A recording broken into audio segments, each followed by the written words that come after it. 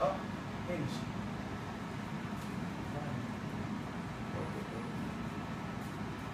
Okay. There you go. This time, again.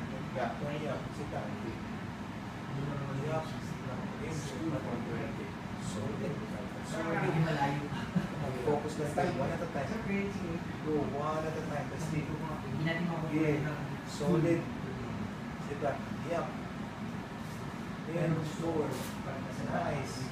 back knee up. Sit back. Up. Page five. Nice. Up.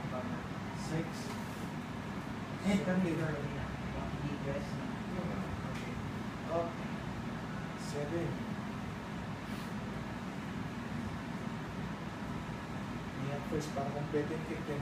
Ah, syempre. Yeah, you see the knee up. Yeah, yeah. Okay. Sit back. Para complete yung kick. Oh. That's a full range. That's a full range man. That's nine. Again, go back to knee up. Sit back. Back to your knee up then. Don't forget the knee. Yan. Para kompleto. That's ten. Di ba na lang? Come on. Perfect. Pare mo. Come on. Hinge. 11. Apat. Okay, go back to knee position. Hinge. 12. Go back to knee up. Sit back. Yan. Kompleto yung action. So we won't do, dia tu Lepas tu Sedap. Sedap. Game. Boleh pergi last one. Sedap. Kita nak pergi out Okay, so kita pergi Time out.